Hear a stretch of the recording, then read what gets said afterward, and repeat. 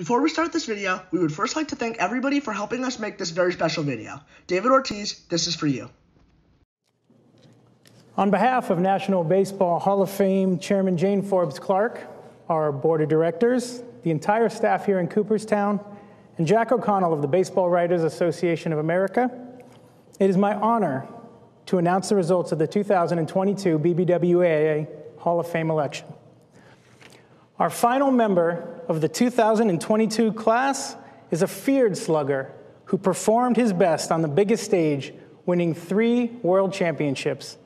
Today, David Ortiz becomes the fourth Dominican born member of the National Baseball Hall of Fame. Well, he did it. Every July, the National Baseball Hall of Fame inducts new members that are voted upon by the Baseball Writers Association of America. And no later than December 31st of every year should members of the Baseball Writers Association of America return their ballots for the National Baseball Hall of Fame.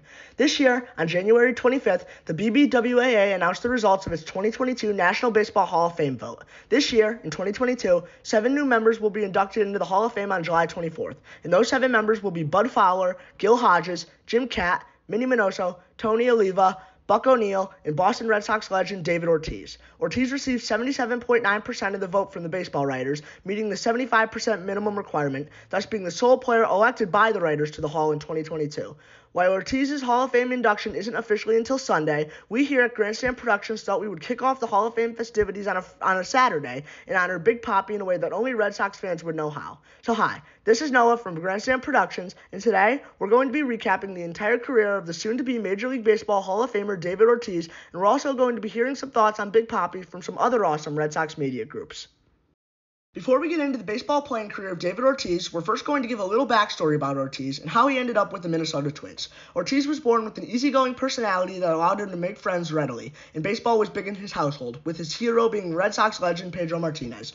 Ortiz was a standout in both basketball and baseball in high school, which led him to sign an MLB contract with the team. Before David Ortiz became an all-time fan favorite Red Sox, some people don't know that Ortiz wasn't always on the Red Sox. Believe it or not, Ortiz was signed by the Seattle Mariners as an amateur in November of 1992 but he never actually played a game for Seattle. The reason for this is because in 1996, he was traded to the Minnesota Twins to complete a deal for Dave Hollins. That year, Ortiz was named Minnesota's minor league player of the year after starting the year in Class A and finishing the year in the big leagues, where we will then start by recapping the Twins phase of David Ortiz's career.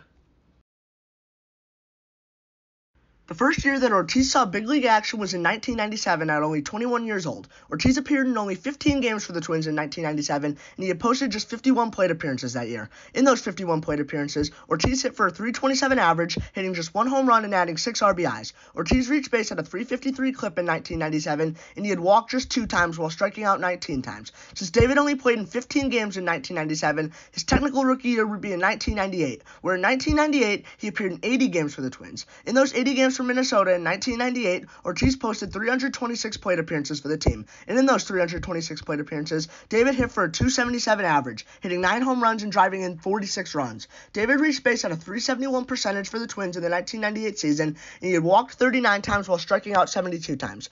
Ortiz followed up his 1997 season with more appearances in 1998, but a wrist injury, which limited his availability, limited Ortiz to only 10 games in 1999.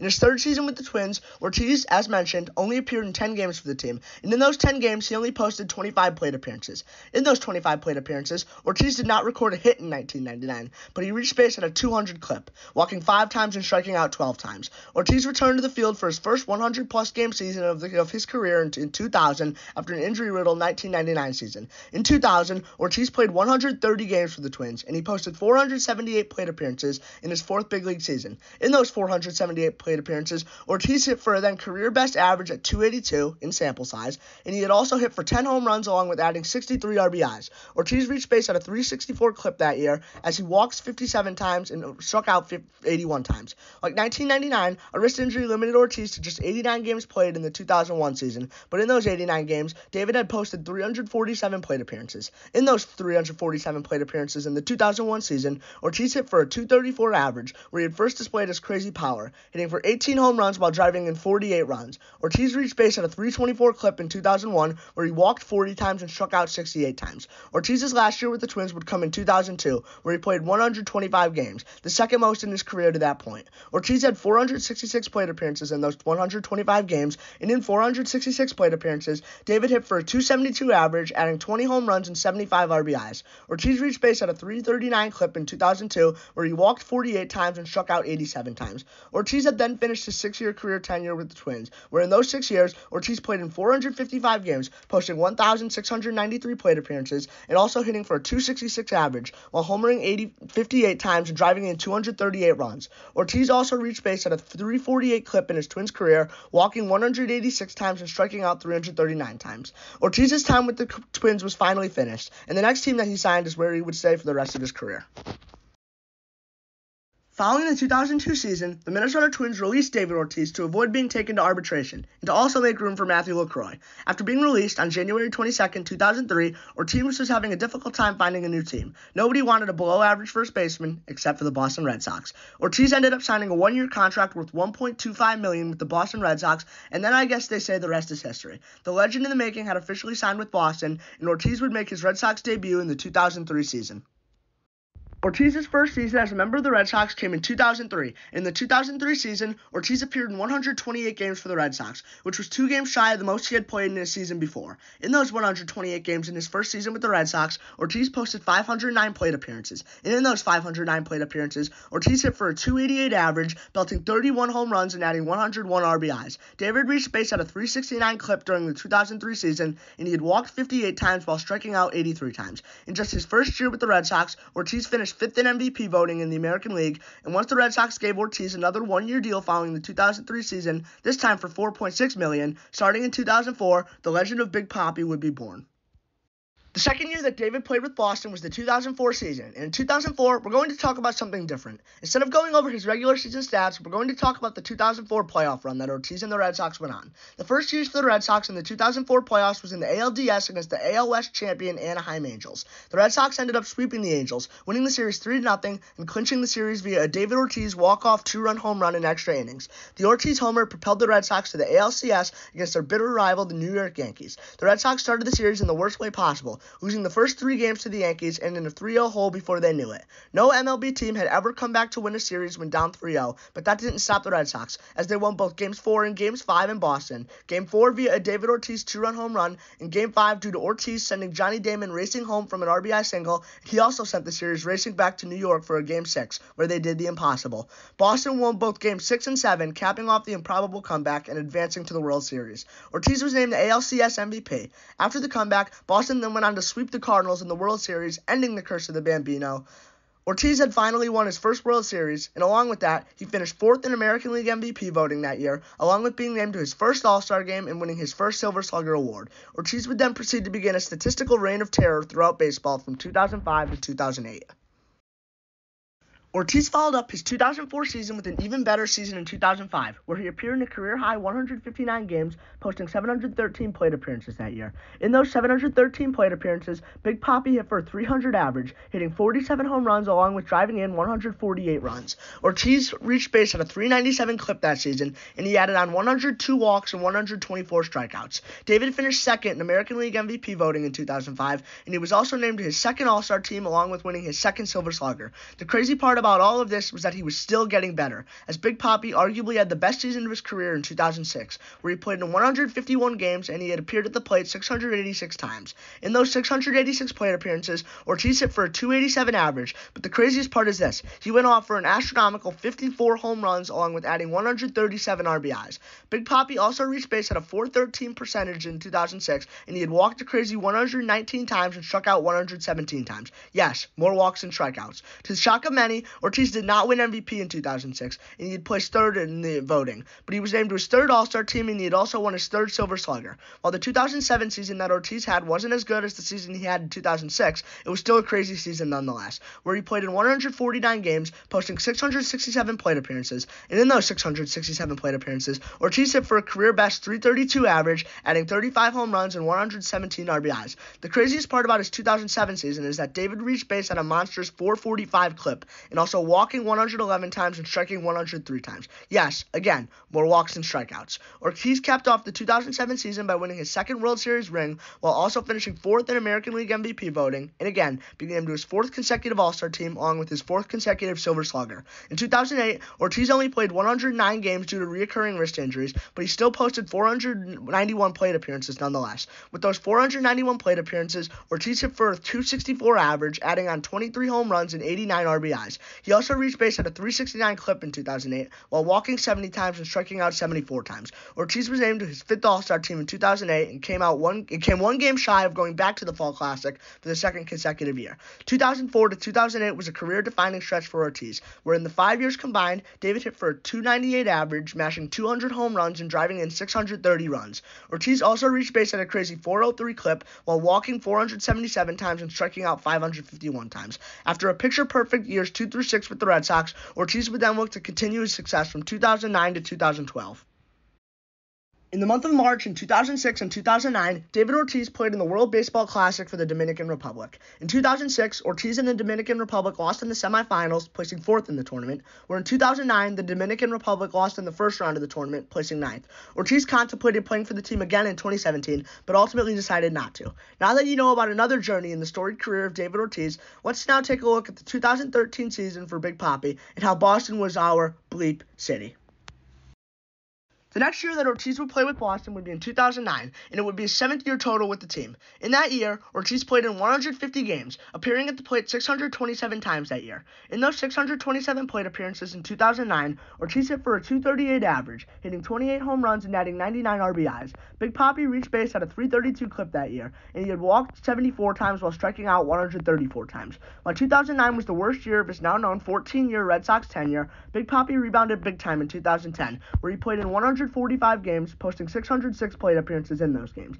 In those 606 plate appearances in the 2010 season, Ortiz hit for a much improved 270 average, adding on 32 home runs along with 102 RBIs. Ortiz reached base on another crazy clip in 2010, this time being at 370, and he had walked 82 times and struck out 145 times. The now 34 year old Ortiz was back in the All Star game for the sixth time in his career in 2010 after not making it in 2009. Ortiz followed up his 2010 campaign by playing in 146 games in 2011 where he would appear at the plate 605 times. In those 605 plate appearances that year, Big Papi hit for a 309 average while also blasting 29 home runs and adding 96 RBIs to his stat line. David reached base at a 398 clip in 2011, where he had walked 78 times and struck out 83 times. Ortiz was named a seven-time All-Star in the 2011 season, his first, and he had won his first Silver Slugger award since 2007, making this Ortiz's fifth Silver Slugger received. 2012 was another injury-riddled season for Ortiz due to another reoccurring wrist injury, and he was limited to only 90 games that year. Despite only playing in 90 games, Ortiz still posted 383 plate appearances, and in those 383 plate appearances, David hit for a 318 average, hitting 23 home runs and driving in 60 runs. Ortiz reached base at a 415 clip in a small 90 game sample size, where he had walked 56 times and struck out 51 times. David was also named an All Star for the eighth time in his career during the 2012 season. 2009 to 2012 was a stretch where Big Papi had cooled off a bit, but nonetheless, in those four years combined, Ortiz hit for a 281 average, belting 112 home runs along with driving in 357 runs. Big Papi also reached base at a 376 clip during the four year stretch, and he had walked 290 times while striking out 413 times. Before we get into the season that David had in 2013, we're first going to mention something else that Ortiz took part in. This is our city. Not only did the 2013 season end up meaning a lot for Boston sports, but it also meant a lot for the city of Boston as well. On April 15, 2013, the finish line of the Boston Marathon was bombed. There were multiple casualties and a few victims. The next time the Red Sox returned home to Fenway Park, Ortiz delivered his infamous This is Our City speech, which brought the crowd to its feet. The Red Sox went on to rally behind the city and end up winning the 2013 World Series, making it Ortiz's third career ring. Overall, Ortiz played in 137 games in the 2013 season, and in those 137 games, he posted 600 plate appearances. In those 600 plate appearances, Big Papi hit for 309 average, belting 30 home runs and driving in 103 runs. Ortiz reached base at a 395 clip in 2013, and he had walked 76 times and struck out 88 times. During this season, Ortiz was named a nine-time American League All-Star, and he was awarded his sixth Silver Slugger Award, and he had also placed 10th in American League MVP voting. Following the 2013 season, David would then go on to play three more seasons in the major leagues, which we will now cover in one section. The 2014 season saw Ortiz play in 142 games, and in those 142 games, he posted 602 plate appearances. In those 602 plate appearances, the Red Sox icon hit for a 263 average, clobbering 35 home runs while adding 104 RBIs. Big Papi reached base at a 355 clip in 2014, where he had walked 75 times and struck out 95 times. Ortiz didn't win any awards during the 2014 season, and he would look to turn that around in 2015, where David played in 146 games that year. In those 146 games, Big Papi appeared at the plate 614 times, and in those 614 plate appearances, Ortiz hit for an average of 273, once again, mashing a ton of home runs, this time 37 of them, and he also drove in 108 runs on top of that. David reached base at a percentage of 360 in the 2015 season, and he had walked 77 times while striking out 95 times. While once again, David didn't win any awards in the 2015 season, he received one single MVP vote this year, placing him 28th in the MVP race. The final season of Big Papi's career was in 2016 and man, let's just say that Ortiz went out with a bang. In his final season of 2016, Ortiz played in 151 games, his most since 2006. And in those 151 games, he posted 626 plate appearances. In the final 626 plate appearances of the storied career of David Ortiz, the Red Sox icon hit for a crazy 315 average, mashing 38 home runs while driving in 127 runs, the most in both categories since the 2006 season. Ortiz had reached base at a crazy 401 clip in his final season, which was his highest since 2011 and he ended up walking 80 times and striking out 86 times. The Red Sox legend ended his career by being named to his 10th and final American League All Star team, winning his 7th Silver Slugger Award and placing 6th in American League MVP voting. Ortiz went out with a bang in his final three seasons, and in those three seasons combined, David hit for a 284 average, smashing 110 home runs along with 339 RBIs. Ortiz reached base at a 372 clip in his final three seasons, and he had walked 232 times while striking out 276 times. What we're now going to do is take a look at the final career statistics for Big Papi and also running down his awards and accomplishments. The legendary career of David Ortiz was now over, and man, he ended up having quite the career. In his storied 20 year career, Ortiz played in a career 2,408 games, appearing at the plate a crazy 10,091 times. And in those 10,000 plus plate appearances, Big Papi hit a career average of 286, hitting 541 home runs, which ranks 17th on Major League Baseball's all time home run list, and he also drove in an astonishing 1,768 runs, which ranks 22nd in Major League Baseball history. Ortiz reached base at a career 380 clip, and he walked a career 1,319 times, and he had struck out a career 1,750 times. At the end of his career, Ortiz was named an All Star 10 times, a Silver Slugger recipient 7 times, oh, and a three time World Series champion. A Hall of Fame career for a soon to be official Hall of Famer. We're now going to hear from some other Red Sox media teams, and we're going to hear their thoughts and some of their best memories of the soon to be Hall of Famer David Ortiz. The beautiful part of David Ortiz's career is that he was here for so long that as a 25 year old, I don't remember the Red Sox before him, but he was still there as I became a much more diehard and knowledgeable fan as I got older. So I would say my favorite single memory of David Ortiz has to be when I was a little bit older. I was at game two of the 2013 ALCS when he hit that game tying grand slam. It was the most incredible crowd moment I've ever seen. People were throwing their popcorn, their beers, their peanuts. Everything was just, it was a free for all because everyone was so excited. But I have to say, when I think of David Ortiz, I think of being a little kid going to Fenway Park with my dad. And I remember, I, I don't know if it's actually true or not, but I used to I was like my first 18 games, and I, I used to, you know, tell my dad he's hit a home run every single time that we've been here together. It's like he's 18 for 18, and I'm, I'm sure it wasn't. I'm sure it wasn't quite that, but that just speaks to David Ortiz's true greatness. Is that I could go to Fenway Park 15 to 20 times and feel like he was going to hit a home run every single time I showed up to the park because he always showed up. What's going on? This is Corbin over at Red Seat Radio. Shout out to Grandstand Productions for having me on this video. It's a great idea. They asked me to share a personal story about my experience with David Ortiz being a Red Sox fan. So I'm going to give you guys two. One is an extremely personal one, and the other one is something that happened in his career that I'll remember forever. The first one is that me and my mom love to go to Red Sox games together. It's how I became a Red Sox fan was through my mother, and one of the things we would do is try to get down there once a month. Now, we always stayed to the end of games games. That was just our thing, right? Regardless of whether the Red Sox were getting blown out or they were winning by 30, 30 runs, we always stayed to the end. Now, there was one singular game in particular where my mom was working overnight. The Red Sox were losing, I believe it was by six at that point, and we were like, okay, Why don't we go home? My mom will catch a few Z's. I can go to bed for school in the morning. It's fine, whatever. We leave the game, and the second we get out of that stadium, because it took us a little bit to get out, the Red Sox had scored three runs and David Ortiz was up with the winning run at first base and he hits a bases clearing double to win the game. Because that's just David Ortiz, right? The most clutch player in history, the most clutch Red Sox player in history, the best, the greatest Red Sox player in history. Walked that game off and I missed it. I missed it because we wanted to beat traffic. And from there on, we have never missed a single inning of any game we've ever been to ever again. I will refuse to leave a game regardless of the score because of that moment, because of David Ortiz.